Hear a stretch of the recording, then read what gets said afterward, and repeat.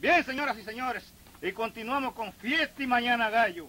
En este momento vamos a complacer con un merengue a uno de los integrantes del conjunto.